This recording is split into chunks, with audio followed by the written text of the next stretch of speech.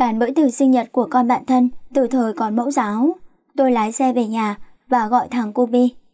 Bi ơi, Bi ra mở cửa cho cô với. Nghe tiếng tôi gọi, thằng cô Bi chạy ra mở cửa và như một thói quen, nó ngó ra ngoài, nhìn xung quanh một lượt rồi hỏi tôi.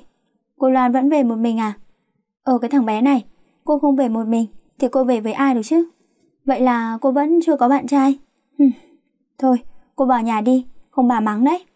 Ừ, cái thằng bé 10 tuổi này mà nó đã biết cả khịa cô nó rồi đấy. Nó lớn hơn mình nghĩ rồi. Tôi xin tự giới thiệu, tôi tên là Kiều Lan. Năm nay tôi 36 tuổi. Cái tuổi khó lấy chồng rồi mọi người ạ. Một cô gái cá tính hơi mạnh mẽ, lại có tính tự lập cao. Ngoại hình thì tôi tự thấy mình cũng ưa nhìn, ăn nói có duyên đấy chứ. Nhưng tới nay, tôi vẫn không có thể một nổi mảnh tình sách để bắt vai nữa. Bố mẹ tôi nói tôi rất nhiều về vấn đề chồng con rồi, nhưng duyên chưa tới thì tôi biết phải làm sao. Công cuộc của tôi cũng khiến bố mẹ tôi đau đầu, đó là tôi là giảng viên của một võ đường lớn ở trung tâm thành phố. Suốt ngày mẹ tôi than vãn rằng có khi cái Loan phải đổi nghề thì mới mong lấy được chồng. Vì sẽ chẳng ai dám lấy một đứa gần 30 trong nghề võ làm vợ đâu. Lời nó về, lời sóng nó bẻ gãy hà mà. Bao năm gắn bó với công việc, làm sao tôi có thể bỏ để đi tìm việc khác được. Nên tôi, thôi mẹ kệ tôi, mẹ tôi càng buồn phiền nhiều. Suốt ngày, bà tìm cách mai mối giới thiệu bạn trai tôi tôi. Mà khổ nỗi tôi lại không ưng một ai cả. Có thể do tôi nhiều tuổi, nên tính nết cũng già đi. Nên tôi hơi kỹ tính và càng nhiều tuổi, tôi lại càng ngại. Bạn bè lần lượt có gia đình hết, giờ chúng nó có con cái lớn cả rồi. Riêng tôi vẫn ế, và ế một cách bền vững, uy tín luôn. Thời điểm tôi mới 30 tuổi, thì tôi cũng thấy rõ ruột. Nhưng bây giờ, khi đã bước qua cái tuổi 35, thì tôi lại thấy rất bình thường. Thậm chí tôi còn không còn ý định lấy chồng luôn. Tôi tính là nuôi thằng cô Bi, để sau này tôi già, nó lo cho tôi. Nhưng bố mẹ nó không chịu, kỳ cục thế không biết nữa. Mà tôi bàn với mẹ tôi là tôi đi sinh con nuôi. Thì mẹ tôi chửi tôi như tát nước vào mặt và ném quần áo tôi ra đường. Tôi thật sự không thể hiểu nổi, rốt cuộc thì lấy chồng có gì vui, mà mẹ tôi cứ bắt tôi phải lấy chồng chứ. Nhà tôi chỉ có hai anh em, tôi là em, chứ tôi là anh Tuấn, anh trai tôi.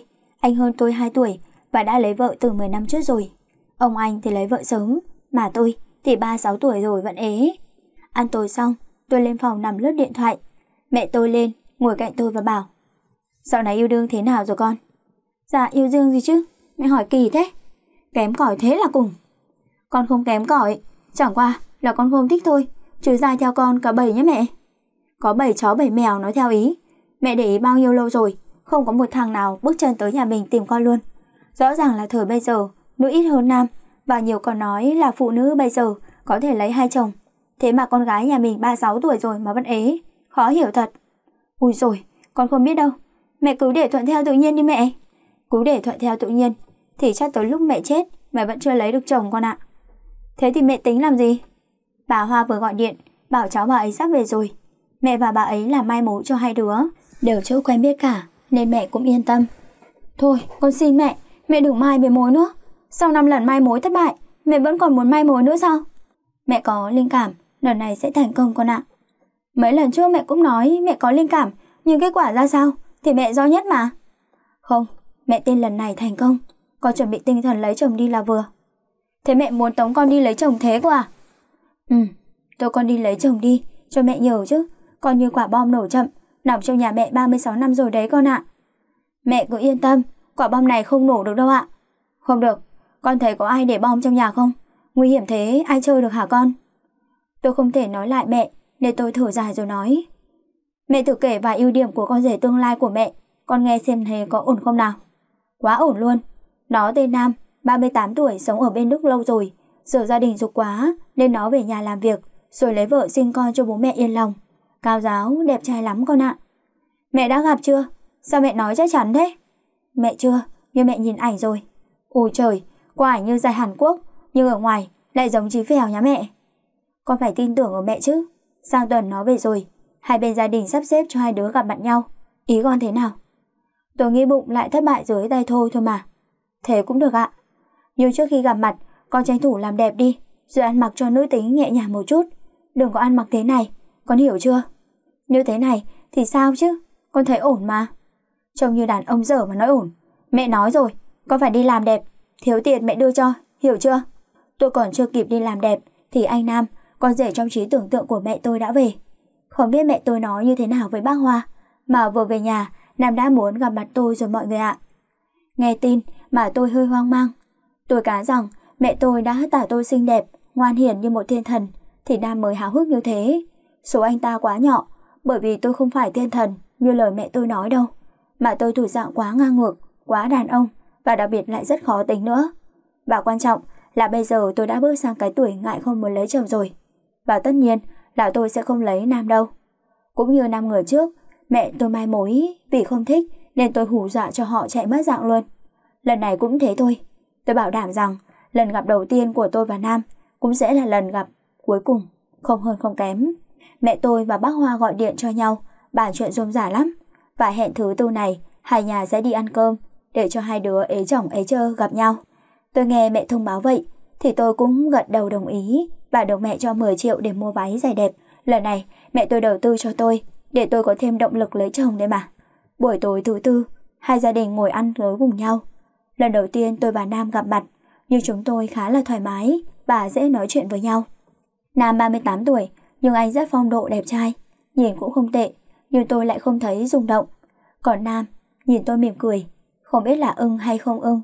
Nhưng vấn đề đó tôi cũng không cần quan tâm làm gì cả. Ăn tối xong, mới 8 giờ tối, bố mẹ hai bên về trước. Tôi mời Nam đi uống cà phê, để tiện nói chuyện tìm hiểu thêm về nhau. Vào quán cà phê, Nam bắt đầu nói chuyện. Gặp anh, em có ngại không? Tôi thản nhiên nói. Em không ngại đâu ạ, anh cứ thoải mái nói chuyện đi. Chắc em cũng nghe bố mẹ hai bên nói chuyện với nhau rồi đúng không? Vâng, em nghe rồi. Vậy ý em thế nào ạ? Thế ý anh thế nào? Anh nghiêm túc đấy. Anh muốn chúng ta tìm hiểu về nhau rồi quyết định hẹn hò được không em? Anh chắc chắn muốn tìm hiểu em chứ? Anh chắc chắn, lần này anh rất nghiêm túc. Được thôi, vậy chúng ta cứ tìm hiểu về nhau đi, xem đối phương có phải đối tượng mình muốn tìm kiếm hay không nhé. Cảm ơn, em đã đồng ý. Giờ anh kể cho em nghe về anh nhé. Vâng, anh kể đi. Nam ngồi kể cho tôi nghe công việc cuộc sống của anh khi ở bên Đức. Tôi ngồi nghe ù ù cạc cạc, như vịt nghe sấm, tí thì ngủ gật. Nam kể xong, anh quay ra hỏi tôi. Thế còn em, tại sao em lại kết hôn muộn vậy? Tôi liền treo Nam. À, em đi tù mất mấy năm nên muộn anh ạ. Thật ra em khá dễ tính, nhưng không hiểu sao không ai muốn hẹn hò với em ý. Khó hiểu thật. Mặt Nam tái dần. Tại cũng phải thôi, một người đàn ông hoàn hảo như anh ta, nghe nói đến tù tội, thì đúng là khó nghe. Mà anh ta ngập ngừng hỏi tôi. Em đi tù mấy năm sau? Vâng anh, sao lại đi tù vậy em? Chém người. Nam ngồi đưa người ra mất vài phút, tôi vẫn bình thản như không có chuyện gì. Sao thế? Anh ngạc nhiên lắm à? Sao mẹ anh nói em... Anh nghe mẹ em nói, mẹ anh lại nghe mẹ em nói. Em khuyên anh một câu chân thành, là anh chỉ nên nghe em nói thôi ạ. Còn mẹ em thì bà ấy muốn em lấy được chồng, nên tất nhiên là bà ấy phải che giấu đi những chuyện xấu của em đi rồi. Nam ấp úng, trông anh ta lúc này nhìn khổ sở, như kiểu hóc thức ăn vậy. Đúng y như kiểu nuốt vào không được, mà nhả ra cũng không xong. Tôi thấy Nam ngồi im re, không nói chuyện rôm rả như phút ban đầu nữa. Tôi mới nhìn Nam cười và hỏi, anh sao thế à? Nam giật mình rồi ấp úng, à, anh không sao em ạ. Vâng, thấy anh cứ ngồi im làm em tưởng. Em tưởng gì cơ? Thì em tưởng anh nghe tin em đi tù mấy năm về, nên anh không muốn nói chuyện với em nữa ý. Đâu có, mà em cho anh hỏi, lý sao tại sao em lại chém người như thế? À, đợt đó em đang có chuyện buồn, xong cái thằng đó cứu trêu em, làm em điên máu, em chém cho vài phát đấy mà. Em nóng tính nhỉ? Dạ, mẹ em vẫn chửi em là cục xúc mà. Nhưng anh yên tâm, bây giờ tình em đỡ hơn nhiều rồi. Em không chém người nữa đâu. Mà lúc nào điên quá thì em đấm người ta thôi anh ạ. Nam cười gượng gạo nhìn tôi. Em vui tình quá. Em nói thật đấy, anh cũng biết là em là võ sư mà. Nam gãi đầu trong mặt anh ta có vẻ khó xử. Chắc anh ta đang phân vân, xem có nên tiếp tục tìm hiểu một cô gái vừa già, vừa bạo lực như tôi hay không. Em hơi khác so với tưởng tượng của anh đấy Loan ạ. Thế anh tưởng tượng em như thế nào? À, anh nghĩ em là một cô gái mạnh mẽ, cá tính. Còn việc em nóng tính, em chém người, đấm người thì anh chưa từng nghĩ tới. Thế bây giờ anh nghĩ đi là vừa ạ. Nam cứ cười trừ thôi. Sau đó tôi bảo đi về, không muộn, thì Nam gật đầu và chở tôi về. Về tới cổng, tôi vẫy tay chào Nam. Cảm ơn anh nhé, anh đã đưa em về. Em khách sáo quá, em vào nhà nghỉ ngơi sớm đi nhé. Vâng ạ, tôi đang định mở cửa vào, thì nhà thằng Cubi nó lại mở cửa ra, vào thò đầu và hét lên. À, cô Loan có bạn trai rồi, cô Loan có bạn trai rồi. Tôi và Nam giật bắn cả mình. Nam phì cười nhìn tôi. Cháu em đó hả? Thằng bé vui tính nhở? Tôi ngại khẽ gật đầu. Vâng. Thằng cubi tung tăng nhảy chân sáo. Bà nội ơi, bà ra mà xem, cô Loan có bạn trai rồi này. Bà nội ra mà xem, cuối cùng thì cô Loan cũng có bạn trai rồi. Bà nội ơi! Trời đất ơi, tôi thấy xấu hổ thật đấy. Đến cả một đứa trẻ 10 tuổi cũng mong tôi thoát ế như vậy đấy. Nó thấy tôi có bạn trai đưa về, mà nó mừng như vậy luôn. Tôi nhìn nó nháy mắt. Thôi, cháu đừng trêu cô nữa, không có ngại đấy. Nó trả lời tỉnh bơ. Cô mà cũng biết ngại quá, cô ấy bao nhiêu lâu rồi mà cô. Tôi đẩy nó vào. Thôi, cháu vào nhà đi, nhanh lên. Nó quay ra bảo Tần Nam. Chú ơi, mai kia chú tới nhà cháu chơi nhé chú. Ừ, mai kia chú tới chơi. Nó cười toe toét rồi chạy vào nhà. Tôi gái đầu nói, thôi anh về đi, em vào nhà đây. Ừ, vậy anh về đây. Tôi vừa bước vào nhà, đã thấy bố mẹ tôi, anh trai, chị dâu, hai đứa cháu ngồi chờ tôi ở phòng khách rồi. Trời ơi, nhà mình đang làm gì mà ngồi tắt ở phòng khách thế ạ? À? Tất cả mọi người nhìn tôi đồng thanh hỏi, thế nào rồi hả? Thế nào cái gì mới được chứ? Mẹ tôi kéo tôi ngồi xuống, rồi cả nhà nhìn tôi với ánh mắt tò mò. Mẹ tôi nhìn tôi nháy mắt. Thế hai đứa đi uống nước và nói những chuyện gì thế con? Thì chúng con nói chuyện bình thường như bạn bè thôi mà. Thế hai đứa có hứa hẹn với nhau gì không con? Thì nói là sẽ tìm hiểu nhau, để xem có nên duyên không. Thế thôi, có gì đâu mà mọi người tò mò thế. Thế hai đứa đã xin số điện thoại của nhau chưa con? Chưa ạ. Ơ hay, thế không xin số để nhắn tin gọi điện cho nhau à? Thế tìm hiểu kiểu gì chứ? Mọi người làm gì mà sót rồi thế? Mới buổi đầu hẹn hò thôi mà. Cứ từ từ ạ. Mẹ thấy thằng Nam rất được đấy con. Lần này con chủ động đi. Không bỏ lỡ nó là phí lắm đấy con. Để mai mẹ bảo bác Hoa cho số của nó nhé. Không, như thế khác gì cậu đi tìm Châu. Mẹ cứ để mọi chuyện thuận theo tự nhiên đi ạ. Thuận theo tự nhiên cái gì chứ? Giờ con mà không chủ động là nó lại chạy mất dép đấy. Để đấy, mai mẹ xin số cho. Con đã bảo không là không mà. Làm thế mất giá lắm. Ế chồng đít rồi còn làm giá cái gì nữa hả? Trai nó không tìm mình, thì mình phải đi tìm trai. Giả dối gì tầm này nữa hả con? Tôi không nói lại nổi mẹ tôi rồi, nên tôi thở dài rồi đi lên phòng để bà muốn làm gì thì làm. Đến chiều ngày hôm sau, tôi đi làm thì mẹ tôi buồn bã báo tin. bà Hoa bảo là Nam nó nói nó chuẩn bị bay sang Đức rồi. Nó bận việc ở bên đó, chưa biết đến bao giờ mới về Việt Nam nữa. Tôi phì cười. Anh ta bỏ của chạy lấy người rồi. Mẹ tôi cứ ngồi thở dài rồi chè miệng. Lại tạch rồi. Sao con Loan nhà mình nó kém duyên thế nhỉ? Nó cứ gặp thằng nào là thằng đấy chạy mất hình luôn. Sao lại kém duyên tới mức đó nhỉ? Một tuần sau, khi lần mai mối thứ sáu tan vỡ, mẹ tôi lại bắt đầu tìm cách kiếm người yêu cho tôi. Lần này, để mọi chuyện suôn sẻ, bà đã đi xem bói, bà nhờ con dâu trở đi tới nhà cách nhà hơn 30 cây. Bà vừa hỏi ông thầy đã phán, lần mai mối thứ bảy này, không cẩn thận cũng tới bại tiếp mà. Thế thầy có cách chỉ không? Chỉ tôi với. Tôi có cách, nhưng vấn đề là phải làm lễ ngay trong ngày hôm nay thì mới được. Làm lễ luôn ngày hôm nay ư? Vậy thầy làm hộ tôi với ạ? À? Hết bao nhiêu tiền để tôi gửi thầy ạ? À? Được rồi, vậy giờ tôi chuẩn bị đồ cho bà. Bà cứ đưa trước 20 triệu, rồi thừa thiếu tôi tính sau nhé. 20 triệu à? Nhưng hôm nay tôi mang có 5 triệu đi thôi. Tại tôi không biết là phải làm lễ luôn. Thế bà bảo con bà về lấy đi. Nhanh lên, không muộn đấy. Bà ra ngoài, bàn bạc với con dâu và bảo con dâu. Mày về lấy tiền cho mẹ, để mẹ làm lễ cho con Loan nhé. Tiền mẹ để trong tủ ấy. Đây, chìa khóa đây. Lấy bao nhiêu hả mẹ? Con cô lấy cho mẹ 25 triệu nhá. Ôi trời ơi, 25 triệu. Ông thầy này có đáng tin không mẹ? Con cứ về lấy đi, không muộn, nhanh lên. Nay tôi về sớm, tôi ngồi chơi điện tử còn với thằng Bi, vào phòng khách thì chị dâu tôi về. Tôi vội vàng đi vào. Cô Loan này về sớm thế? Vâng, chị đi đâu về thế? Chị với mẹ đi xem bói, giờ chị về lấy tiền cho mẹ, để mẹ nhờ thầy làm lễ cho cô đấy. Làm lễ cho em á? Lễ gì thế chị? Chị cũng biết đâu, mẹ ngồi bàn chuyện với ông thầy ở trong nhà. Chị ngồi ở ngoài, một lúc sau mẹ bảo chị về nhà lấy 25 triệu, để ông thầy làm lễ cho em đấy. Chết rồi, lễ gì mà phải làm luôn thế? Hay ông ta bày trò kiếm tiền rồi? Chị cũng nghĩ ông thầy này làm tiền, nhưng mẹ cứ bắt chị phải về lấy tiền đây này. Giờ em đi cùng chị tới nhà ông thầy luôn. Đi thôi chị. Tôi đi cùng chị dâu tới nhà ông thầy. Đến sân, đã thấy ông đang ngồi xếp vàng má ở cửa nhà. Mẹ tôi thấy chị. Tôi bà liền gọi. Hai đứa cùng đi tới à? Tiền đâu? Đưa cho mẹ. Tôi mới đi vào, kéo mẹ ra cổng. Mẹ ra đây, con bảo cái này đã. Chuyện gì thế con? Nói nhanh đi, mẹ đang bận lắm. Chị em con đi ra ngoài ngõ, gặp mấy bác sống ở đây. Mấy bác bảo ông này nói không chuẩn đâu mẹ ạ. Ông ấy lừa mẹ đấy. Lừa cái gì mà lừa?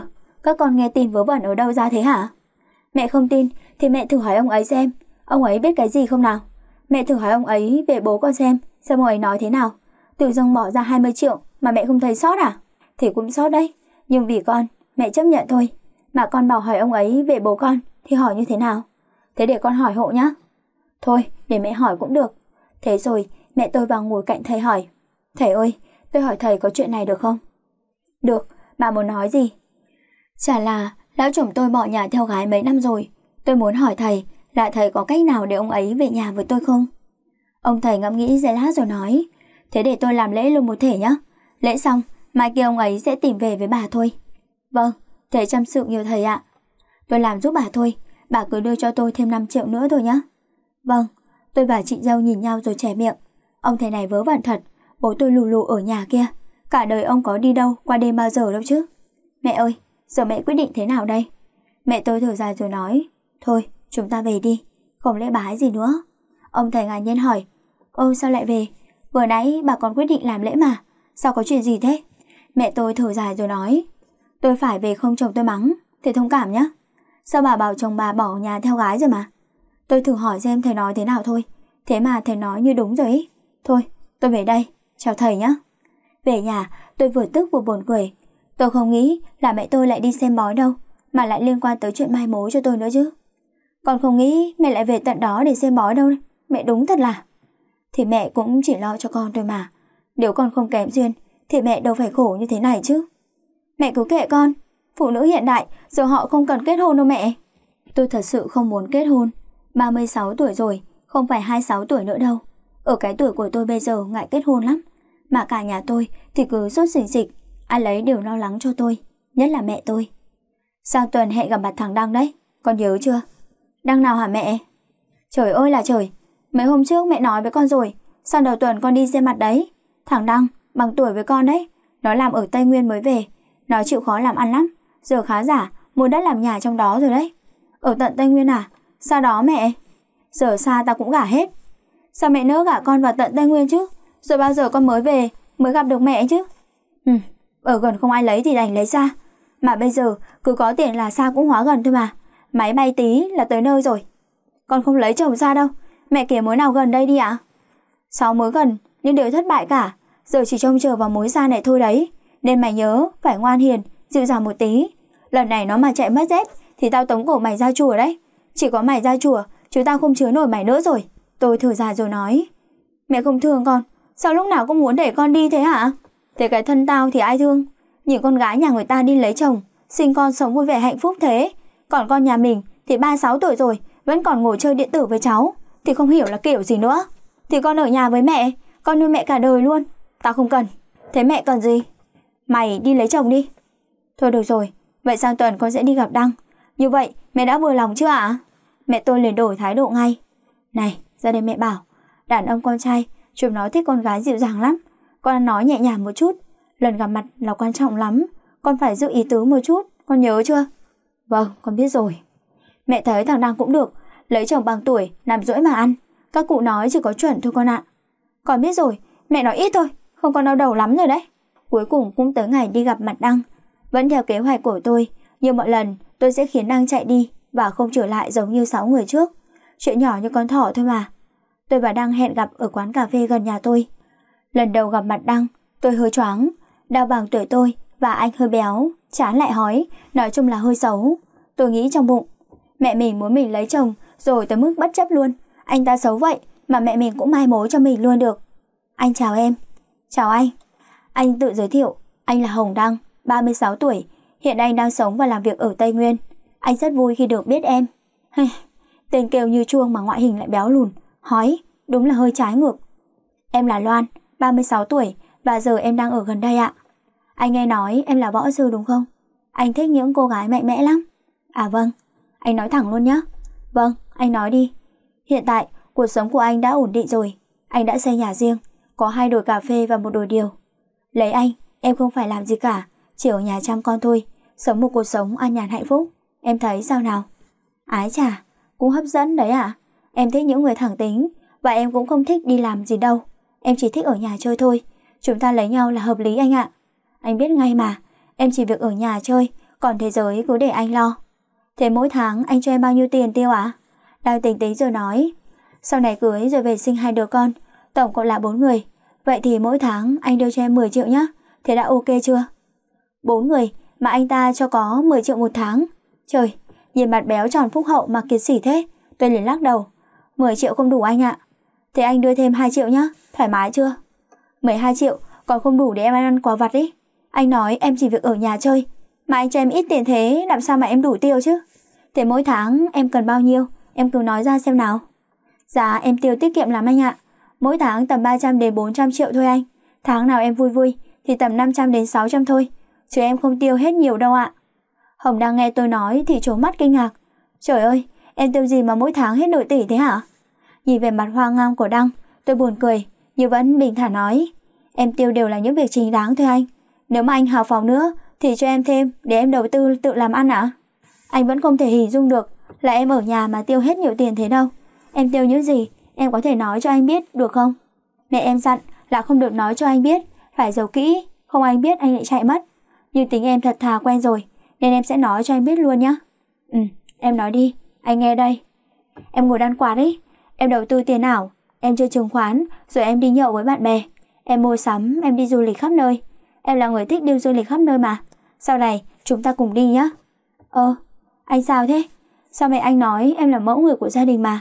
Lấy chồng sinh con, rồi ở nhà chăm con vun vén tổ ấm mà. Việc đó thì anh không cần lo đâu. Cứ đưa tiền cho em, còn mọi thứ để em thuê giúp việc là xong. Phụ nữ hiện đại, ai lại ở nhà nội trợ như thế, nhìn quê chết đi được. Đào sâu quá, anh ngồi gãi đầu gãi tai kiểu hoang mang. Anh thích một người biết nấu ăn, để khi anh đi làm mệt mỏi về, anh được ăn bữa cơm gia đình ấm cúng. Em không biết nấu ăn đâu, và em cũng không thích nấu, nên sau này mình thuê người làm hết anh nhé Thế em không muốn chăm con và làm việc nhà ư? Vâng, thời gian đó em sẽ đi làm đẹp thì hơn. Trời đất ơi, sao thế ạ? À? à không có gì, anh chỉ hơi ngạc nhiên thôi. Tôi mỉm cười. anh ta lại sắp chạy luôn rồi, để kế hoạch thành công hơn, tôi liền giở điện thoại ra và mở hình hành túi sách xịn cho anh ta xem. Anh ơi, anh thấy cái túi này đẹp không? Đang khẽ gật đầu. Đẹp em ạ. Dạ, đẹp anh nhỉ, em thích nó lắm. Anh cho em tiền mua đi. Đang liền lấy ví ra. Bao nhiêu hả em? Dạ, 132 triệu ạ. Hồng đang trố mắt nhìn tôi. 132 triệu? Vâng ạ, cũng rẻ mà anh. Anh cho em tiền mua nhé.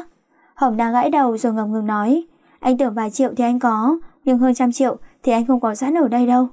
Không sao, anh chuyển khoản cho em. Giờ người ta đều thanh toán qua chuyển khoản mà anh. Rồi tôi đọc số tài khoản cho Đăng.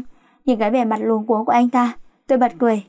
Sao thế? Anh tiết tiền em à? Không phải, anh, anh. Xã hội bây giờ, yêu mà không đầu tư thì xác định là ế nha anh. Hồng Ang đợt đầu nói nhỏ. Để lát về anh chuyển cho nhá. Không, em muốn anh chuyển luôn cho em ngay bây giờ luôn. Anh thấy cái túi đó hơi đắt đó em ạ. Giờ mình phải tiết kiệm cho các con sau này chứ. Giờ đã có con đâu mà phải tiết kiệm. Anh giàu thế cơ mà, còn hơn trăm củ cũng tiếc à? Thì anh nghĩ là mình tiết kiệm để lo sau này đó. Nhớ mai này công việc của anh gặp trục trặc thì anh vẫn còn tiền để nuôi vợ con. Ui giời, anh no xa quá. Em sống đơn giản lắm. Nếu sau này anh không nuôi được em thì em sẽ ly hôn và tìm một người khác tốt hơn anh để lấy. Nên anh đừng có lo xa quá nhé. đang tròn quá, anh ta tròn xoe mắt để tôi. Em sống thực dụng vậy hả? Vâng, em đẹp em có quyền anh ơi. Hồng đang câm nín luôn. Anh ta còn không còn gì để nói với tôi nữa. Cuộc hẹn hò đầu tiên của chúng tôi cũng kết luôn luôn tại đây. Mới sáng sớm, tôi còn đang nằm ngủ thì mẹ tôi đã lên gõ cửa. Gái yêu của mẹ, con dậy chưa con yêu? Nghe mẹ nói mà tôi đuổi hết ra gà, tóc gáy dựng ngược lên. Mẹ ơi, mẹ bình thường như mọi ngày đi mẹ. Mẹ đừng có gọi con một cái giọng đó, con sợ lắm. Mẹ tôi đẩy cửa đi vào, ngồi cạnh và vuốt tóc tôi. Gái yêu dậy đi, rồi hai mẹ con mình đi ăn bún bò đi. Ai trả tiền ạ? À? Tất nhiên là mẹ trả tiền rồi con yêu. Không thích, con ngủ tiếp đây. Mẹ xuống rủ anh Tuấn với chị dâu con ý. Vợ chồng nó đang ngủ mà. Con dậy đi, rồi hai mẹ con mình đi. Con không đi đâu, con muốn ngủ lắm. Con không muốn đi đâu. Dậy đi mà, nhanh, nào con. Con đã bảo không đi mà, mẹ tự đi một mình đi. Thế bây giờ có dậy hay không? Hay để mẹ bê chậu nước đổ vào mặt cho tỉnh nhá? Tôi ngồi dậy nhăn nhó. Mẹ suốt ngày bắt nạt con, con không muốn ăn mà mẹ cứ bắt con đi ăn là sao? Dậy đi, đừng có cằn nhằn nữa, con với cả cha gái. Nhà người ta chỉ nuôi con tới 18 tuổi, nhà mình phải nuôi tới những 36 năm liền, mà vẫn còn tỏ thái độ với mẹ nó như thế. Trời ơi, số tôi khổ quá mà. Thôi, mẹ đừng nói, đừng than thở nữa, con dậy đi ăn cùng mẹ là được chứ gì. Nhanh lên, mẹ chờ dưới nhà đấy. Vâng vâng, con biết rồi, mẹ xuống trước đi. Ra ngồi ăn sáng, tôi vẫn buồn ngủ nên ngồi ngáp, mẹ tôi liền che miệng tôi lại. Con gái con lứa, vô duyên vừa thôi, ngáp thì phải che miệng lại chứ. Ui rồi, có ai đâu mà lo. Con gái phải giữ ý tứ chứ, mẹ nói mãi mà không nghe mẹ gì cả. Thôi, mẹ ăn bún đi, nói nhiều thế. Này mẹ bảo, tối qua hẹn hò thế nào rồi? Cũng vui ạ. Vui á? Vậy tốt rồi, thế về hai đứa có nhắn tin cho nhau không? Không, mẹ nói con mới nhớ, anh ta quên không ghi số của con rồi ấy, Không có số, sao nhắn tin được chứ? Trời, thế hai đứa nói những gì hả con? Chuyện riêng tư, mẹ hỏi làm gì chứ? Mẹ hỏi để xem tình hình hai đứa thế nào, xong có tiến triển không. Chứ mẹ sốt ruột quá con ạ. Sốt ruột cái gì? Con không lo thì thôi, mẹ sốt ruột làm gì cho mệt người? Mẹ lo lắm, nếu lại thất bại tiếp thì mẹ phải làm sao đây? Rồi bao giờ con mới có người giúp chứ? Chẳng lẽ con tính ở vậy cả đời sao? Vâng ạ, đó là ý kiến rất hay đó mẹ. Hay hay cái gì? Con mà không lấy chồng, mẹ tống con ra khỏi nhà đấy. Mẹ tôi cứ nói mãi, tôi mát bún cũng không được yên. Lấy chồng, lúc nào cũng lấy chồng. Lấy chồng có gì vui chứ? Một tuần trôi qua, không thấy đăng ý ới gì. Mẹ tôi bắt đầu đi nghe ngóng tình hình xem thế nào. Tôi thì vẫn bình thản, như không có chuyện gì xảy ra. Chiều nay, tôi và chị dâu đang nấu cơm, thì mẹ tôi đi chơi về. Thấy vẻ mặt hầm hầm khó chịu của bà, tôi hiểu ngay vấn đề rồi. Tôi im lặng không nói gì, chị dâu tôi mới hỏi. Không biết mẹ có chuyện gì thế em nhỉ? Chắc vụ mai mối thứ bảy lại tạch rồi đó à? Chắc vậy rồi, mấy ngày nay chị thấy mẹ cứ thấp thỏm mãi đấy. Mà lấy chồng có gì vui hả chị? Sao cứ phải lấy chồng ạ? Bố mẹ nào cũng không muốn con gái của mình được yên bề ra thất đâu em. Lấy chồng cũng tốt mà, rồi mình có con, có cháu, cuộc sống vui vẻ hạnh phúc lắm em ạ. Nhưng mà em không thích, em không biết tại sao nữa chị ạ. Chị dâu nhìn tôi với ánh mắt nghi ngờ. Hay là em không có cảm giác với con trai hả? Em đã yêu bao giờ đâu, nên em không biết. Mà sao chị nhìn em lạ thế? Em nói thật đi, em là người đồng tình đúng không? Hả? Không sao đâu, em cứ nói thật với chị đi. Chị thoải mái vấn đề đấy lắm, nên không phải ngại đâu nhá. Trời đất ơi, đồng tình cái gì chứ? Em không phải là người đồng tính đâu chị. Chị hiểu lầm em rồi đấy. Thế sao? Em không chịu yêu ai chứ? Chắc chắn em là người đồng tính rồi. Mau khai thật đi, đừng giấu giếm nữa. Nghe chị dâu nói mình là người đồng tính, tôi hơi choáng váng. Tôi chưa yêu ai và không muốn lấy chồng thật đấy. Nhưng tôi là gái thẳng 100%, chứ tôi không phải người đồng tính nhá. Tôi cố giải thích cho chị dâu tôi hiểu. Chị à, em thề đây này, em không phải người đồng tính đâu nhá. Chị dâu nhìn tôi với ánh mắt nghi ngờ. Chắc chưa? Dạ, chắc mà. Cuối tưởng câu chuyện tới đây đã kết thúc. Ai ngờ mẹ tôi đứng phía sau, chị em tôi từ bao giờ. Này, con là người đồng tính hả Loan? Tôi và chị dâu quay ra đồng thanh nói. Không ạ. Rõ ràng mẹ nghe thấy mà, không phải giấu mẹ nhá. Tôi gãi đầu khó nghĩ quá, vừa mới giải thích với chị dâu xong, rồi lại tiếp tục phải giải thích với mẹ. Trời ơi, tôi đau đầu quá đi mất. Mẹ à, thật ra con... Mẹ tôi nhìn nắm tay tôi và nói. Không sao đâu con gái, con là người đồng tính cũng không sao. Mẹ không nói gì con đâu. Chỉ cần con sống vui vẻ hạnh phúc là được. Mẹ thấy những đứa đồng tính đều là trai xinh gái đẹp và giỏi lắm con ạ. Ví dụ như Lê Thảo Linh ý. Con bé đó vừa đẹp, vừa nổi tiếng lại giỏi nữa. Con biết nó không? Không biết luôn. Trời ơi, nó nổi tiếng như thế mà con không biết là sao? Thì con không phải là người đồng tính, nên con không để ý tới những chuyện đó. Mẹ đang hiểu lầm con đấy. Hiểu lầm cái gì? Mẹ bảo rồi, mẹ dễ tính lắm. Mẹ không nói gì con đâu. Chỉ cần con hạnh phúc là được. Mai dẫn người yêu về nhà mình ăn cơm nhé. Tôi sắp sang chấn tâm lý với mẹ tôi rồi. Bà muốn tôi có người yêu tới mức giờ luôn. Yêu trai hay gái bà cũng đều ok hết. Trời đất ơi, có ai cứu tôi không? Tôi không biết phải nói sao để mẹ tôi hiểu. Thì chị dâu tôi cứ đứng cười tủm tỉm. Tôi gắt lên. Tất cả là do chị đấy. Tự dưng nói em vậy là mẹ tưởng thật luôn rồi. Thì ai bảo em không chịu yêu ai thì chị chả nói thế. Hai giờ em yêu một anh nào đó đi để mọi chuyện rắc rối sẽ chấm hết tại đây. Trời ơi, điên hết cả đầu. Cả nhà này không ai thương tôi, không một ai thương tôi cả. Mấy ngày sau đó, mẹ tôi liên tiếp hỏi tôi về người yêu đồng tính. Tôi đã nói hết nước hết cái, nhưng mẹ tôi không tin. Bà vẫn nghĩ tôi giấu bà. Sau nhiều lần nghe mẹ chất vấn vấn đề người yêu, tôi cáu quá, cãi nhau với mẹ một trận và bỏ ra khỏi nhà, đi bộ lang thang trên đường. Khó chịu thực sự, lúc nào cũng là vấn đề người yêu, lúc nào cũng lấy chồng, lấy chồng. Cuộc sống của tôi đang tự do vui vẻ, sao mọi người cứ bắt tôi phải đeo gông vào cổ thế không biết. Lấy chồng chả có gì vui đâu. Tôi có tham gia mấy cái nhóm, biết thế không lấy chồng, và nhóm đàn bà khôn. Cả mấy trăm ngàn chị em đều nói là ân hận khi lấy chồng, và rất nhiều chị khuyên không nên lấy chồng. Vừa mệt người, lại không được cái tích sự gì. Vậy mà mẹ tôi cứ bắt tôi phải lấy chồng nhỉ? Hôm nay, tôi nổi cáu thật sự luôn. Nhìn cái vỏ lon nước trên đường mà tôi cũng khó chịu, và vừa cùng tôi liền rút cho nó một phát, cho nó bay xa luôn. Tôi cáu giận, liền chút lên vỏ lon. Nhưng chớ trêu, nó lại bay thẳng vào chán một người đàn ông lạ, khiến anh ta ngã bật ngửa ra phía sau. Á! tôi giật mình, nhìn ra thì ấy anh ấy đang nằm ôm đầu, tôi hoảng hốt quá vội che lại. Tôi, tôi xin lỗi anh, anh có sao không ạ? Anh ấy bỏ tay tôi ra, tôi nhìn rõ vết hằn đỏ trên trán. Tôi ngại quá, không biết phải nói sao nữa. Chán anh thủng tới nơi rồi đấy. Dạ, em xin lỗi, tại em tưởng không có ai, nên em sút hơi mạnh ạ. Ừ, không sao. Tôi đỡ anh dậy, rồi tôi và anh đừng nói chuyện với nhau. Anh tên Hùng, 37 tuổi, nhà anh ở bên kia đường, còn em?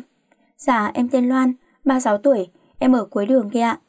Thế à, anh rất vui được biết em, chúng ta làm quen với nhau được không em? Dạ, được ạ, thêm bạn thêm vui mà anh. Vậy chúng ta đi dạo một lát nha em. Vâng ạ. Tôi và Hùng vừa đi, vừa nói chuyện vui vẻ với nhau. Hùng khá là vui tính, lại tầm tuổi với nhau, nên chúng tôi nói chuyện khá là hợp, cứ như quen biết từ bao giờ vậy. Đi bộ được một đoạn, Hùng vui vẻ hỏi tôi. Mà em có chuyện gì không vui à? Sao lại chút giận lên cái non nước thế? Tôi gãi nói. Em và mẹ cãi nhau anh ạ. Sao lại cãi nhau với mẹ? Mẹ nói gì em à? À, vấn đề chính là em ế chồng đó anh. Mẹ em bắt em phải lấy chồng đó. Hùng bật cười nói, cùng cảnh với anh rồi đấy. Anh cũng vậy luôn hả? Ừ, mẹ anh suốt ngày nói anh về vấn đề lấy vợ, nên anh váng đầu quá, anh đi ra ngoài dạo đấy. Tôi và Hùng nhìn nhau rồi phá lên cười lớn. Lần đầu tiên tôi thấy thoải mái đầu óc như thế. Tôi và Hùng đi dạo nói chuyện vui quá, nên chúng tôi quên cả giờ về. Nhìn đồng hồ tôi giật mình. Chết rồi, em phải về thôi, hơn 11 giờ rồi này. Đấy, mà nói chuyện nên anh quên mất, giờ anh đưa em về nhá. Thôi, em tự về được ạ, anh cứ về đi không muộn rồi. Anh đàn ông con trai về muộn cũng đâu có sao, để em con gái đi về muộn thế này sao được. Nào, đi thôi, anh đưa em về. Không cần mà, anh cứ về đi. Hùng cứ nặng nặc đòi đưa tôi về, nên tôi đành để anh ấy đưa về. Anh ấy sợ tôi về muộn, đi đường gặp kẻ xấu. Anh ấy nghĩ tôi là phái yếu mà. Nói thật, thằng nghiện nào gặp tôi là nó xui tận mạng luôn ý. Nhìn thấy tôi phải bê dép chạy cho nhanh ý. Chứ sao bắt nạt được tôi. Tôi mà để bọn nó bắt nạt thế. Hóa ra, mười mấy năm học võ của tôi đổ sông đổ bể à. Hai đứa đi qua đoạn đường công viên vắng. Hôm nay trời vắng vẻ thế nhở? Anh cũng không rõ nữa. Lâu lắm rồi, anh có chơi tối đâu. Em cũng vậy luôn. Tại một mình nên em không muốn đi. Thế thì bây giờ anh đi cùng em nhé. Tôi gãi đầu. Vâng, thế cũng được ạ. Anh đi cùng, anh sẽ bảo vệ em.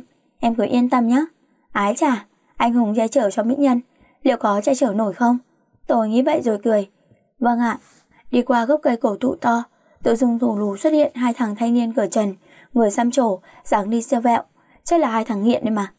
Nhìn thấy hai thằng nghiện, Hùng vội kéo tay tôi. Em ra phía sau anh đi, nguy hiểm đấy. Anh cẩn thận nhé, hình như chúng nó nghiện đấy.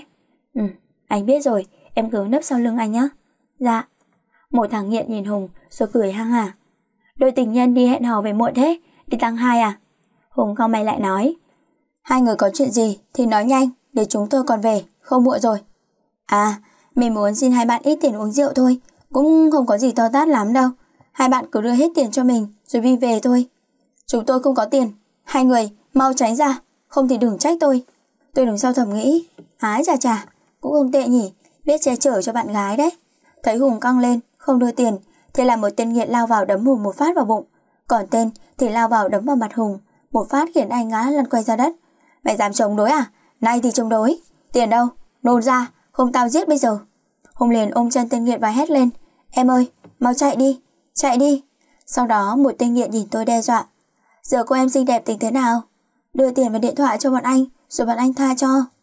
Tôi vẫn bình thản, chưa có phản ứng gì, thì Hùng đã hét lên.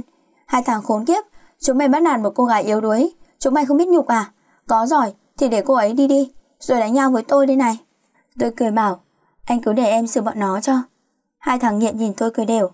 Cô em cũng mạnh mồm đấy. Tiền đâu? Nôn ra. Không là bọn anh cho hai đứa đi gặp các cụ bây giờ. Tôi liền nói, tiền và điện thoại ở trong túi đây này, lại đem mà lấy này. Mau đưa đây, không tao giết bây giờ. Có giỏi thì lại đem mà lấy, không làm mà muốn có ăn thì chỉ có ăn rác nhá. Con này chưa thấy quan tài, chưa biết sợ mà. Một tên lao ra để đánh tôi, thì tôi xoay người né rồi đạp thẳng vào mặt nó, khiến nó ngã ra phía sau. Tên kia cũng lao vào, thì bị tôi tung cho vài đòn, mồm me bét máu. Cả hai tên cùng lao vào tôi, vừa đạp vừa đấm cho hai tên nghiện, bỏ lê lết dưới đất. Hùng ngồi, mồm há hốc kinh ngạc, nhìn tôi đánh hạ hai tên nghiện chỉ cho một nốt nhạc. Riêng mấy cái thể loại nghiện giặt dẹo này, thì mình tôi chấp 20 thằng luôn. Khỏi nói nhiều cho mệt. Hai tên nghiện cố bò dậy rồi bỏ đi. Hùng nhìn tôi không chớp mắt luôn. Em có võ à? À, em cũng biết sơ sơ thôi. Anh ổn chứ? Hùng khẽ đưa tay lau mồ hôi trên trán. Anh, anh ổn. Hai tên nghiện bỏ đi rồi, tôi mới đỡ Hùng lấy. Anh cứ nhìn tôi chằm chằm. Em, xem giỏi thế. Anh thấy mất mặt quá. Cứ tưởng anh Hùng cứu mỹ nhân. Anh ở đâu, mỹ nhân cứu anh Hùng chứ. Lần sau, anh đừng liều mạng như vậy. Nguy hiểm lắm đấy. Nhưng không thèm thế thì biết làm thế nào chứ. Bỏ chạy là cách tốt nhất. Mà không bỏ chạy thì cứ đưa tiền và đưa điện thoại cho chúng nó anh ạ. Anh biết rồi. Thôi, chúng ta về không muộn. Hai đứa đi thật nhanh về nhà. Tới cổng, tôi không mang chìa khóa, nên tôi gọi điện cho chị dâu, bảo chị xuống mở cửa cho. Chị dâu của tôi đi ra, thấy có trai lại đứng cạnh tôi, thì mắt chị sáng rực lên. Mẹ ơi! Chị mở cửa cho em đi. Muộn rồi, chị còn gọi mẹ làm gì thế? Mẹ ơi, mẹ xuống mà xem này. Ơ hay, chị không mở cửa cho em ghi, cứ đứng gọi mẹ làm cái gì chứ? Thế là chị dâu chạy thẳng vào nhà, quên cả mở cửa cho tôi. Trời đất ơi, bà chị dâu của tôi hôm nay bị gì vậy trời? Chị dâu tôi vui quá, gọi ầm lên. Mẹ ơi, dậy đi, có trai lạ. Đêm hôm rồi, mày không ngủ còn ầm ý cái gì thế hả? Có trai lạ, có trai lạ. Cái gì chứ? Trai lạ cái gì chứ? Thằng Bi nó liền nói. Bà dậy mà xem, cô Loan và bạn trai đang đứng ở cổng kia kìa. Hả? Mẹ tôi bà dậy và chạy ra ngó. Đâu? Bi ơi, đâu, đâu? Ngoài cổng đó bà nội. Ờ đúng rồi, mau ra mở cửa cho cô Loan đi. Mẹ tôi chạy ra mở cửa, giọng ngọt khiến tôi nổi da gà. Con yêu, con về rồi à con? Vâng ạ. Hùng cúi đầu chào. Dạ con chào bác ạ. Bác chào con, mà con là bạn của Loan hả? Dạ bác, con rất vui khi được gặp bác ạ. Ừ, giờ vẫn sớm, con vào nhà uống cốc nước rồi hãy về nhé. Tôi nhìn điện thoại. Sắp sang ngày mới rồi đó, sớm gì nữa ạ? À? Ơ cái con bé này, mai chủ nhật, có đi làm đâu mà phải ngủ sớm. Giờ chúng ta vào nhà uống trà đã, nói chuyện một lúc rồi hãy về con nhé. Nửa đêm còn uống trà, cồn ruột lắm. Thế mình uống nước ngọt nhá, hay ăn gì để mẹ nấu nào, gà luộc nhá, gà sẵn trong tủ lạnh rồi, chỉ cho vào luộc là xong thôi. Mẹ tôi mời chào Hùng nhiều tới mức tôi thấy xấu hổ luôn. Bà Hùng gật đầu đồng ý. Dạ, thế thì phiền bác rồi ạ. Phiền gì đâu hả cháu, cháu cứ tự nhiên như ở nhà mình nhá. Dạ bác, tôi liền kéo tay Hùng lại. Này này, anh biết mấy giờ rồi không hả? Anh không về, bố mẹ anh lo đấy. Hùng cười tuê tuét. Không ngại vấn đề đấy đâu. Em nhắn tin bảo mẹ anh một câu là xong mà. Thế là mẹ tôi kéo Hùng vào trong nhà luôn. Vị khách 12 giờ đêm nay đã khiến cho cả nhà tôi mất ngủ. Hùng ngồi ở phòng khách nói chuyện với anh trai và chị dâu tôi, còn mẹ tôi thì luộc gà và chuẩn bị bia lạnh dưới bếp. Thằng Bi thì cứ ngồi nhìn chú Hùng chăm chăm. Tôi bực quá mới quát. Bi, lên gác ngủ đi. Mấy giờ rồi mà còn thức hả? Nó bênh mặt lên cái. Vẫn sớm mà cô, ngủ sớm làm gì, béo lắm. Mẹ tôi bê bia lên, tôi cười nói. Con cứ kệ thằng bé đi. Nào, chúng ta uống vài cốc bia cho mát đi, gà sắp chín rồi. Thế là chúng tôi đã uống bia và xé gà luộc tới tận 3 giờ sáng. Hùng dễ gần, lại được gia đình nhà tôi dễ dãi, nên chúng tôi rất thoải mái với nhau, như người nhà với nhau vậy. Từ đó, tôi và Hùng trở nên thân thiết. Hùng chủ động xin số điện thoại của tôi. Hàng ngày, anh nhắn tin, điện thoại cho tôi, và anh dần dần trở thành một người đặc biệt của gia đình tôi. Tôi có linh cảm, tôi sắp có người yêu rồi mọi người ạ. Một tin tốt hay tin xấu đây? Tự dưng, tôi thấy mình hồi hộp và mong đợi một điều gì đó nhiều lắm. Từ ngày hôm sau, tối nào Hùng cũng tới nhà tôi chơi. Hùng khéo ăn nói, nên mẹ tôi ưng lắm. Lúc nào cũng chỉ muốn tôi với Hùng thành đôi thôi. Bà còn giúp Hùng theo đuổi tôi nữa chứ. Cuối cùng, thì sau 3 tháng theo đuổi và bám lì mặt ở nhà, thì tôi đã nhận lời yêu Hùng. Vì cả tôi và Hùng không còn trẻ nữa, lại được gia đình hai bên tác động, nên chúng tôi quyết định cuối năm nay sẽ tổ chức đám cưới, cũng tầm 3-4 tháng nữa thôi. Thời gian không dài, nhưng cũng đủ để hai đứa tìm hiểu thêm về nhau mà. Có người yêu cái là cuộc sống thay đổi nhiều mọi người ạ. Tôi trở nên dịu dàng, nữ tính và biết tô son khi ra đường, còn biết mỏng váy khi đi hẹn hò cùng bạn trai nữa chứ. Nói chung là mẹ tôi nhận xét là tôi ngoan và đàm thám hơn. Hùng là giám đốc công ty lớn nên anh nhiều bạn bè và anh cũng có nhiều cô gái để mắt tới. Anh cũng hay đưa nhân viên đi ăn uống. Giờ có bạn gái rồi nên anh muốn tôi đi cùng anh. Tôi vốn ngại vì công ty anh đông như vậy mà tôi nói tôi không đi. Nhưng anh cứ nói mãi, thành ra tôi lại quyết định đi cùng anh. Tôi nghĩ chưa sao gì cũng phải ra mắt cho mọi người ở công ty anh biết mà tôi mà. Tránh mãi sao được đâu. Tôi mới đi, nhưng buổi chiều anh đã gọi nhắc tôi rồi. Tôi mặc váy rồi trang điểm nhẹ nhàng, rồi xóa tóc ra. Đang đứng trước gương ngắm nghía thì mẹ tôi vào và ngạc nhiên. Con đi chơi với thằng Hùng à con? Dạ, nè anh dẫn con đi ăn để ra mắt mọi người ở công ty đấy ạ. Ờ, để mẹ xem nào. Trang điểm nhẹ quá, cái váy hơi dài rồi. Con trang điểm đậm hơn, rồi thay cái váy khác đi con. Con thấy cũng được mà mẹ. Không được, mẹ thấy hơi quê mùa con ạ. Con thay cái váy khác đi, để mẹ chọn cho. Thế là cả chị dâu tôi cũng vào cuộc sửa soạn trang điểm cho tôi. Xong rồi, chỉ còn là tóc thẳng cho tôi nữa. 7 giờ tối, Hùng tới đón tôi. Vừa nhìn thấy tôi, anh giật mình. Em đẹp quá, anh không nhận ra luôn đấy. Vâng, mẹ em và chị dâu ra tay thì không đẹp cũng phải đẹp anh ạ. Hùng dẫn tôi tới bữa tiệc mà mọi người đã đợi sẵn ở đó rồi. Thấy tôi xuất hiện, tất cả mọi ánh mắt nhìn đổ dồn về phía tôi. Họ tò mò về bạn gái của sếp lâu rồi mà hôm nay mới được gặp mà. Mọi người ai cũng hòa đồng, thấy tôi, họ chào hỏi nói chuyện rất vui vẻ. Duy nhất, chỉ có một bàn có mấy bạn nữ trẻ, nhìn họ có vẻ không vui. Hùng cầm tay tôi và giới thiệu. Anh giới thiệu với mọi người nhé. Đây là bạn gái của anh, tên Loan, ít hơn anh một tuổi. Nên từ giờ, mọi người cứ gọi là chị Loan nhé. Tôi cúi đầu chào mọi người, thì Hùng cười nói. Mọi người đều ít tuổi hơn em à, ai cũng thoải mái, nên em đừng ngại gì nhé. Vâng, em biết rồi mà. Tôi với Hùng đang ngồi nói chuyện với mọi người cùng bàn, thì bà nữ mặc váy quay hở hang, ngồi bên bàn, cầm ly rượu sang và nói. Em chào chị.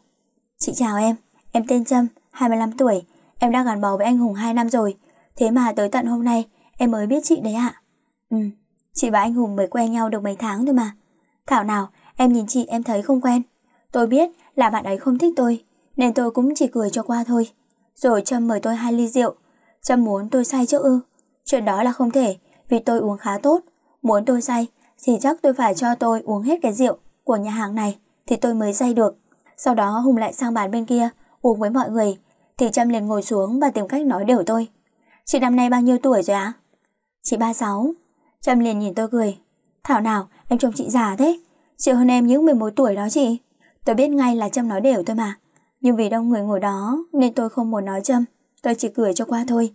Nhưng Trâm vẫn ngồi đó và tìm cách dìm tôi xuống. Mới đầu em còn tưởng chị là chị gái của anh Hùng cơ. Nhìn hai người như hai chị em vậy. Tôi trẻ miệng nói. Giống chị em thế cơ à? Vâng, chị nhìn xem. Ở đây ai cũng ít tuổi trẻ đẹp. Họ đều tầm 30 tuổi mà dưới 30 tuổi thôi. Chứ không ai già như chị cả. Trâm cứ mở miệng là nói tôi già. Vô duyên hết sức. Nếu là người ngoài thì tôi đã quát cho nó một trận rồi. Nhưng vì nó là người trong công ty nên tôi thở dài rồi nhịn cơn giận lại. Em có vẻ quan tâm tới tuổi của chị nhở? Chị nhiều tuổi thì có ảnh hưởng gì tới em không? À, không có ảnh hưởng tới em, nhưng có ảnh hưởng tới anh Hùng đó chị. Sao lại ảnh hưởng? Em nói lý do cho chị xem nào. Thì khi chị đi cùng anh Hùng, trông sẽ không đẹp đôi đó chị. Người đẹp, trai tài giỏi như anh Hùng, có nhiều gái theo đuổi lắm chị ạ. Tôi nhìn Trâm, nhếch mép cười. Trong số đó có Trâm đúng không? Trâm ngập ngừng rồi chỉ tay sang bàn bên kia. Đấy, chị nhìn thấy mấy đứa trẻ kia chưa? Đứa nào cũng thích dây hùng hết. Bọn nó trẻ đẹp sexy thế kia. Có đâu quê mùa như chị chứ. Tôi bực quá mới đập tay xuống bàn để cảnh cáo Trâm. Đủ rồi đấy. Việc chị nhiều tuổi hay ít tuổi, chị già hay trẻ thì cũng không liên quan tới em nhé. Chị không cần em quản nên em đừng có tham gia vào. Trâm cũng đáp trả không kém cạnh. Em cũng không quan tâm tới chị đâu. Nhưng em lại quan tâm tới anh Hùng. Chị hiểu chứ? Em cứ nói thẳng ra là em thích anh Hùng đi. Cứ vòng vo từ nãy tới giờ làm gì cho mệt người. Đúng, em thích anh Hùng đấy. Không chỉ em, mà cả mấy đứa xinh đẹp như hoa hậu ở bên kia. Nó cũng thích anh Hùng đấy chị ạ. Ồ, mấy đứa cũng thích một người đàn ông à? Chắc mấy đứa thích dùng chung đồ phải không? Chị nói thế là ý gì đây? Chung đồ với ai thì chị không quan tâm. Nhưng mấy đứa mà đòi dùng chung đồ của chị là chị chém cho bay đầu đấy. Nghe rõ cho em. Bị tôi cảnh cáo nên Trâm tự dưng thay đổi luôn thái độ vênh váo. Em làm bộ mặt yếu đuối đáng thương như con mèo con vậy. Ồ, em thích làm mèo con ồn yếu thì để chị nhét con chuột vào mồm em nhé. Em Trâm tự dưng bật khóc làm cho tất cả mọi người quay lại nhìn. Nhiều người quay sang nhìn tôi kiểu thắc mắc, chắc mọi người đang nghĩ tôi đã nói gì khiến em Trâm tủi thân và khóc như thế.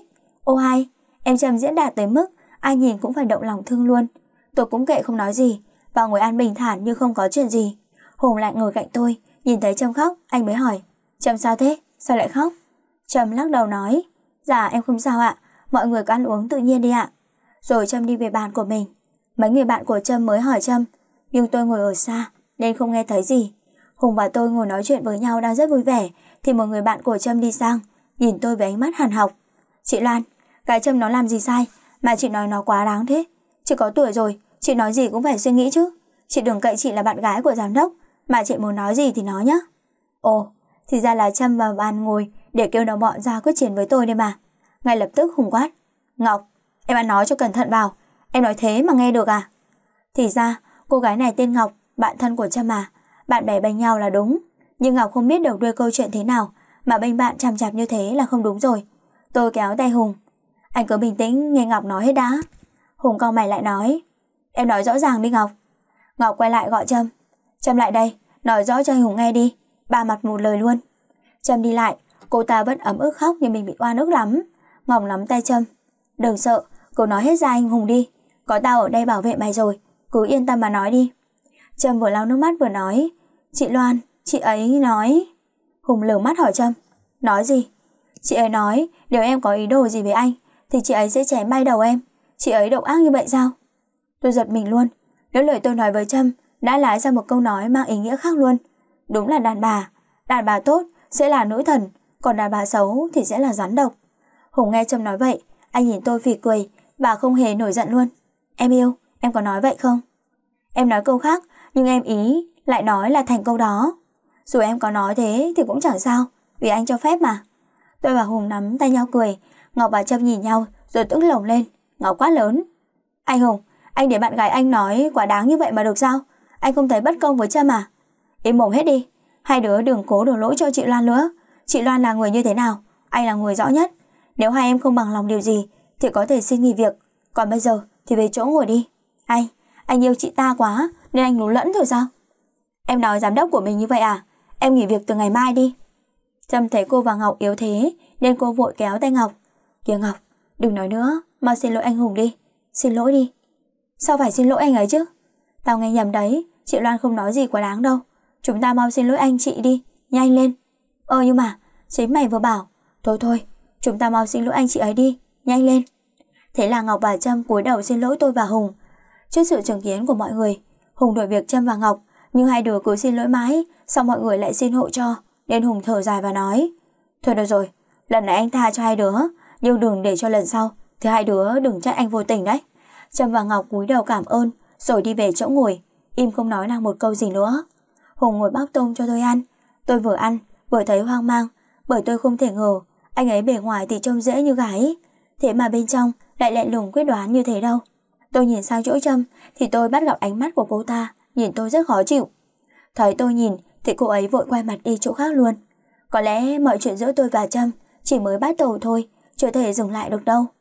Ngọc không bằng lòng đâu, nhưng vì Trâm cứ nói Ngọc mãi, nên hôm sau cô mới đi làm lại. Vừa mới tới công ty, Ngọc đã hỏi Trâm. Này, sao mày phải lụy thế? Không làm công ty này thì làm công ty khác, thiếu gì công ty chứ? Trâm nhìn ngó xung quanh, không có ai rồi nói. Ta biết chứ, nhưng tao không thể đi một cách nhục nhã như thế được. Tao phải làm ở đây, để còn chọc phá con nhỏ già đấy nữa chứ. Chọc phá ư? Ừ, nếu giờ tao nghỉ việc đi chỗ khác, thì chẳng phải dễ dàng cho họ quá à? Ngọc liếc mắt nhìn bạn. Đấy, bạn tao là phải thế cơ, thế mà tao cứ tưởng. Thôi, về chỗ làm đi đã, không mọi người tới, mọi người lại nghi ngờ đấy. Ừ, tao biết rồi. Một tuần sau, Hùng đưa tôi vào công ty làm việc. Tôi vừa đi làm, vừa đi học thêm, để sau này có kinh nghiệm, rồi giúp Hùng quản lý công việc. Phòng làm việc của tôi lại cùng phòng với Ngọc và Trâm. Thấy tôi vào làm việc, Ngọc và Trâm tỏ vẻ không vui. Nhưng cô ta không thể hiện ra mặt. Trâm dạ ngoan lắm. Tôi nói gì Trâm cũng nghe. Nhưng trong lòng, tâm thì cô không nghĩ như thế. Cô ta luôn tìm cách dìm tôi. Và Trâm với Ngọc suốt ngày tìm cách chia rẽ tôi và Hùng. Vì Trâm vẫn ghét tôi từ cái hôm đi ăn uống đó mà. Vì tôi mới tới công ty làm, nên nhiều cái tôi còn chưa biết phải làm sao. Nhưng Trâm và Ngọc không bao giờ bảo tôi. Hai người đó cứ âm thầm quan sát và tìm cách dìm tôi xuống. Hôm nay tôi làm nhầm bản kế hoạch. Trâm nhìn thấy nhưng Trâm không nói gì cả. Kết quả xong bên khách hàng, người ta gửi về cho tôi làm lại. Vừa tốn tiền, lại mất thời gian. Nên hết giờ làm tôi ở lại làm việc. Hùng ra gọi cửa. Em yêu, về thôi. Anh cứ về đi, em bận chút, lát em về ạ. Hùng lại gần thấy tôi đang ngồi làm lại bản kế hoạch thì anh kéo tay tôi. Về thôi, mai rồi làm em ạ. Anh cứ về đi, lát em về sau. Anh về đi. Thôi, anh bảo để mai làm mà. Mai không làm thì ngày kia làm cũng được mà. Cái châm đi ra, thấy vậy liền cố ý nói để kể tội tôi. À, đây là bản kế hoạch bị nhầm hả chị Loan? Thôi, chị cứ về đi, để mai tới em làm hộ. Mấy việc này chứ em vẫn làm suốt mà chưa bị nhầm bao giờ luôn. Thôi, để chị làm. Chị làm nhớ lại hỏng thì sao? Mỗi lần hỏng là công ty lại tốn một khoản tiền đó chị. trong cố ý nói đi nói lại vấn đề tôi làm nhầm để Hùng nghe được. Cô ấy muốn hạ tôi xuống thấp hơn cô ta mà. Thôi, chị về đi, để mai em làm hộ cho ạ. Hùng cao mày nói châm. Đó là công việc của em, em đừng có nói làm hộ. Chả ai tới đây để làm hộ ai cả. Em nhận tiền lương của công ty thì em phải làm việc. Nên đó là trách nhiệm của em. Chứ em đừng nói là làm hộ, em hiểu chưa? Trầm bị Hùng nói thì mặt xị xuống. Dạ, em không có ý đó, chỉ là em. Thôi không gì hết, về đi. Trầm gật đầu rồi đi về, Hùng kéo tôi dậy. Vợ yêu, muốn ăn gì, chồng đưa đi nào. Vợ yêu á, sao anh gọi em vậy chứ? Thì gia đình hai bên đã nói chuyện người lớn rồi, cũng xác định cưới rồi mà. Thế không gọi vợ yêu thì gọi cái gì nào? Em không biết, kệ anh đấy. Vợ yêu, anh thích gọi thế. Em làm hỏng bản kế hoạch, làm tốn tiền của anh rồi. Anh có giận em không? Giận gì chứ? Công ty là của vợ chồng mình mà. Sau này em chỉ quản lý sổ sách giúp anh thôi, chứ không phải làm việc gì nữa nhá. Mình thuê họ tới đây là để họ làm những việc đó, chứ mình không phải làm. Em hiểu không hả vợ yêu? Anh không sợ em nhàn quá sinh hư à? Thế thì vợ yêu thương anh nhiều hơn một chút nữa đi. Thôi, giờ mình về thôi vợ yêu. Dạ, chồng yêu. Đấy, anh thích thế đấy. Mình đi ăn vợ nhá. Dạ. Tôi bắt đầu quen việc ở công ty của Hùng. Được cái tôi cũng nhanh nhẹn, hiểu việc. Nên chỉ sau một thời gian ngắn là ổn cả. Hùng thì hay quan tâm tôi. Nên mấy em trẻ trẻ xinh xinh ở công ty lại thấy ghen tị. Nhất là em Trâm và em Ngọc. Sau mấy lần bị Hùng nói thẳng vào mặt, nhưng Trâm và Ngọc vẫn chưa từ bỏ ý định của mình. Trâm vẫn luôn tìm cách để dìm tôi xuống. Hôm nay, thằng bạn thân của tôi gọi điện, rủ tôi đi uống nước. Lúc đó chồng cũng ngồi đó. Cô ta thấy tôi nói chuyện điện thoại thì cứ lắng nghe kiểu hóng hớt, xem tôi và bạn nói chuyện gì. Cái kiểu vô duyên, tôi ghét thế không biết. Sau tới 2 giờ chiều, tôi về sớm để đi gặp bạn. Em Trâm lại càng tò mò. Xem ra, ban công nhìn xuống bảo vệ để nhìn xem tôi đi với ai mà lại xin về sớm như thế. Thằng Quang đứng chờ ở cổng bảo vệ, thấy tôi, nó vẫy vẫy. Loan ơi, tôi đây. Ông về bao giờ thế? Tôi mới về chiều qua. Lâu rồi không gặp, dạo này nhìn mà xinh gái ra đấy. Thế trước tôi không xinh à? Giờ nhìn đẹp và nữ tính hơn trước đấy. Ui thế à? Thế tôi phải phát huy nữa mới được. Đúng, giờ đi uống cà phê nhá. Không uống cà phê đâu, làm vài cốc bia cho mát đi ông. Ôi thế mà vẫn giống đàn ông như xưa à? Này, ông nói cho hẳn hoi vào, đàn ông là đàn ông thế nào? Nhìn tôi bánh bèo thế này cơ mà. Nhìn người thì có vẻ nữ tính, nhưng tính cách và kiểu nói chuyện vẫn đàn ông như nước. Trời ơi! Vâng, tôi đàn ông, nhưng tôi sắp lấy chồng rồi đấy. Còn cái mặt ông ý, giờ đã có con nào hút chưa? Tôi cũng có bạn gái rồi nhá, bà đừng có mà coi thường tôi. Vâng, tôi đâu dám coi thường ông, giờ chúng ta đi uống bia thôi. Ok, bà lên xe đi. Từ quán bia, tôi lấy điện thoại ra để gọi cho Hùng, để anh đỡ lo, thì máy tôi pin yếu sập ngột luôn. Tôi bảo cắm sạc xong gọi, thì mải nói chuyện với thằng Quang, mà tôi quên béo mất. Điện thoại cắm sạc, nhưng cũng quên không mở nguồn lên nữa. Hùng đi gặp khách hàng về, anh vào phòng hỏi, Ngọc ơi, Loan đâu rồi em? Ngọc lắc đầu trả lời, em không biết ạ. Trâm liền nói, chị Loan về từ lúc 2 giờ rồi ạ, có một anh tới đón đi rồi. Hùng liền lấy điện thoại ra, bảo thuê bao không gọi được. Trâm nhẹ nhàng hỏi Hùng, anh gọi được chị ấy chưa ạ? Hùng lắc đầu, chưa, không biết cô ấy đi đâu nhở? Trâm liền nói, dạ em nghe thấy chị ở điện thoại rồi chị ấy về luôn. Anh kia đi ô tô tới đón, hai người gặp nhau ở ngoài cổng bảo vệ, tỉnh táo lắm anh ạ. Ngọc liền hùa vào với Trâm nói, để Hùng phải suy nghĩ. Trai tới đón đi đâu mà chị ấy phải tắt máy thế nhỉ? Chắc có gì mờ ám rồi nên mới cần phải giấu. Trâm đường đà nói tiếp, em mà đi đâu, em sẽ nói cho bạn trai em biết, để bạn trai em yên tâm, chứ ai lại tắt máy như thế? Hay là hai người đó có gì mờ ám nhỉ? Hùng đấm tay xuống bàn một phát, khiến Ngọc và Trâm giật mình. Anh cao mày nói, im hết mồm đi, hai người ăn nói vớ vẩn, quá đáng rồi đấy. Trâm xị cái mặt xuống, làm bộ mặt đáng thương. Em cũng vì lo lắng, vì suy nghĩ cho anh thôi. Bởi ngay lần đầu tiên em đã không thiện cảm với chị ấy rồi. Vừa gặp, đã đe dọa chém bay đầu người khác rồi. Chuyện của tôi và Loan, chứ không phải chuyện của hai cô. Vậy nên, hai cô đừng xen vào. Kẻo người thiệt hại là hai cô đấy. Đây là lần thứ hai tôi nhắc nhở hai cô rồi. Đừng để tôi nói tới lần thứ ba đấy. Tôi và thằng Quang ngồi uống bia, với ăn thịt nướng ở quán cũ. Trước kia hai đứa vẫn ngồi ăn với nhau. Mải buôn chuyện một tí mà đã gần 5 giờ. Lúc này Quang hỏi tôi về bạn trai của tôi thì tôi mới chợt nhớ ra tôi chưa gọi điện cho Hùng. Tôi mới lấy điện thoại và hóa ra tôi chưa bật nguồn lên. Tôi vội mở nguồn điện thoại lên, lập tức có cuộc gọi đến của Hùng. Dạ em nghe. Tiếng Hùng hét lên qua điện thoại. Em đang ở đâu đấy hả? Anh gọi cho bao nhiêu cuộc? Không được là sao hả? Em đang ở quán bia, điện thoại em hết pin. Quán bia nào thế? Để anh ra đó với em. Nửa tiếng sau, Hùng đã có mặt ở quán bia với tôi. Thẳng Quang nói trêu Hùng. Đúng là tình yêu lớn có khác. Nhưng anh yên tâm, em là bạn thân của nó. Em ở bên Malaysia mới về, nên gọi nó đi uống vài cốc bia thôi mà. Anh đừng có hiểu lầm em nhé. Ừ, tại anh gọi cho Loan thuê bao, nên anh lo có chuyện gì thôi. Chứ bình thường, Loan vẫn thường đi chơi với bạn mà em. Vâng, thế thì em yên tâm rồi. Mà may cho nó là anh có anh yêu, chứ em còn tưởng nó ế tới già luôn đấy. Thật vậy luôn à? Vâng, nhìn cái tướng men lì của nó thì ai thèm yêu. Anh yêu được nó, chắc hẳn anh là người phi thường rồi đấy. Tôi ngồi nhìn Hùng và Quang nói chuyện với nhau mà tôi buồn cười. Vậy là sau 36 năm cô đơn, thì nay tôi đã không còn cô đơn và có người sợ mất tôi rồi mọi người ạ. Tình yêu là một điều vô cùng kỳ diệu phải không mọi người? Sáng hôm sau, tôi bận đi mua đồ nên tôi nghỉ buổi sáng. Thấy Hùng tới, Trâm liền ra bảo Ngọc. Ngọc ơi, tao không thấy anh Hùng đi cùng bà kia mẹ ạ. Bà Loan không đi làm ư? Không thấy đâu cả, chắc nghỉ rồi. Hay là hôm nay bà ta đi với thằng nào nên bị ông Hùng đá bay rồi. Tao cũng nghĩ vậy luôn, cho đáng đời bà ta đi. Rồi Trâm và Ngọc cứ hí hửng mừng thầm. Trâm mừng lắm, cô cứ cười cả buổi. Rồi tới trưa, cô pha một cốc cà phê rồi bê vào phòng Hùng. Dạ, em chào sếp ạ. Có chuyện gì? Dạ nay chị Loan nghỉ nên em pha cà phê cho sếp ạ. Em mời sếp uống cà phê ạ. Ừ, cứ để bà đi. Cảm ơn Trâm nhé. Dạ không có gì ạ. Ừ, thấy Trâm cứ đứng đó ngập ngừng như muốn hỏi gì. Hùng mới hỏi. Sao thế, định hỏi gì à? Dạ em định hỏi là hôm qua anh có gặp chị Loan không ạ? Có. Thế buổi chiều chị ấy đi đâu mà tắt máy vậy ạ? Hùng đang xem tài liệu, nghe Trâm hỏi vậy, anh liền dừng lại nhìn trong cười. Em có vẻ rất quan tâm tới chuyện của anh à? Dạ vì em lo cho anh, thật sự em lo cho anh, chứ em không có ý gì khác đâu ạ. Anh tự lo được, đâu cần em phải lo chứ. Là vì, là vì em thích anh, em thích anh nhiều lắm anh Hùng ạ. Em sợ anh bị cắm sừng, nên sợ anh bị tổn thương lắm anh ạ. Hùng bật cười rồi nói, cảm ơn lòng tốt của em, nhưng anh không thích điều đấy, nên từ bây giờ em đừng như vậy nữa, nhớ chưa? Nhưng mà em, cũng chỉ vì em lo cho anh thôi, chị Loan có gì tốt chứ? Em thấy chị ấy vô tâm với anh lắm, còn quát cả anh nữa mà. Hùng gãi đầu rồi nói, em tưởng ai cũng được quát anh đấy à? Chuyện đó là do anh cho phép đấy. Nên giờ em đừng lo lắng như chuyện thừa thãi đâu nhé. Còn em thích anh, thì anh cũng nói luôn là anh không thích em. Anh khuyên em nếu còn làm ở đây, thì từ bỏ cái suy nghĩ điên rồ ấy đi. Kẻo chị Loan chị ấy sẽ không tha cho em đâu. Anh cho phép chị ấy làm vậy ư? Anh yêu nhiều quá nên ngốc rồi sao anh? Vậy thì anh cứ yêu chị ấy đi. Còn em sẽ mãi ở phía sau.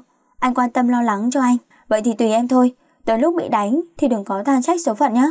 À chị Loan trước khi vào công ty làm thì chị ấy làm giảng viên ở võ đường đấy. Mười mấy năm luyện võ. Chắc em cũng hiểu rồi phải không? Em nhớ cẩn thận. Cả bị đánh rồi bị tàn tật lại khổ thân nhá. Em không biết nhưng thật sự em rất yêu anh. Tự bỏ đi. Anh không cho phép thì em sẽ không bao giờ có cơ hội đó đâu. Giờ thì ra ngoài đi để anh còn làm việc. Anh Hùng à, em. Hùng lử mắt quát. Đi ra ngoài. Tới chiều tôi đi làm, vừa vào phòng đã thấy trên mặt chị rồi. Tôi nghĩ bụng, chắc cô ta lại bị mắng rồi nên mà cô ta mới dị như vậy. Mà ai mắng cô ta vậy nhỉ? Cô ta khéo mồm như vậy cơ mà. Tôi chợt nghĩ không lẽ là Hùng mắng cô ta. Mà thôi, kệ, đó là việc của cô ta. Đâu có liên quan gì tới tôi mà tôi phải bận tâm làm gì chứ. Thế nhưng, cây muốn lặng mà gió chẳng ngừng. Tôi đang làm việc thì châm lại gần, mặt nhìn tôi hàm hàm khó chịu. Chị Loan, chúng ta nói chuyện một lát đi. Em cứ nói đi, chị nghe. Ở đây không tiện, chúng ta lên sân thượng nhé. Được, giờ lên luôn hả? Đúng giờ, đi luôn. Được thôi. Tôi và Trâm lên sân thượng và nói chuyện với nhau. Em muốn nói gì với chị vậy?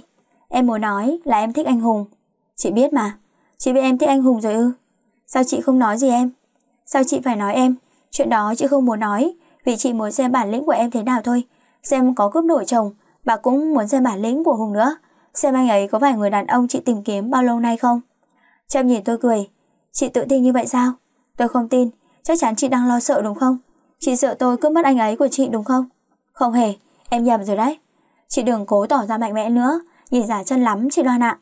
Em xem nhiều tít tức quá nên em bị ngáo rồi à? Có cần chị làm cho em tỉnh táo lại không hả? Chị tính làm gì tôi hả? Tôi lao lại túm tóc và tát vào mặt Trâm liên tiếp năm phát mạnh, khiến nó choáng, nó trợn tròn mắt nhìn tôi. Chị, sao chị dám? Tôi điên quá, mới túm tay, bóp cổ nó chặt tới mức nó cứ ạc ạc dãi dãi như sắp chết vậy. Em có tin chị ném em xuống dưới kia không hả? Chị tử tế với em thì em không chi, em cứ bắt chị phải đánh em thì em mới chịu đúng không? Tôi bóp cổ, khiến nó lè lưỡi ra. Tôi túm tóc tát thêm cho nó mấy phát nữa, trước khi kéo nó xuống phòng. Trầm sợ tái mặt, nó không nghĩ tôi lại hung dữ như vậy. Tới lúc này, nó mới nghĩ lại lời Hùng cảnh cáo nó lúc chưa. Giờ nó mới tin những lời Hùng nói hoàn toàn là thật. Sau khi bị tôi đập cho một trận tơi tả, thì Trâm đã biết sợ và cô ta đã biết điều hơn trước và không còn muốn xem bảo tôi và Hùng nữa. Trả xanh không đáng sợ đâu mọi người. Vấn đề là người đàn ông của bạn tôi. Nếu họ không cho phép thì chẳng có trả xanh nào xen vào giữa được. Nhưng những người đàn ông có thể gạt bỏ được những cảm dỗ xung quanh như thế là rất hiếm và có thể sắp tuyệt chủng rồi chị em ạ. Thế nên, lấy chồng như đánh bạc vậy, không thể nói trước được điều gì cả. Thôi thì cứ mặc cho duyên số thôi ạ. Ba tháng nữa là tôi và Hùng cưới. Thế là sau 7 lần mai mối không thành công, thì tôi cũng đã có bến đỗ của cuộc đời mình rồi.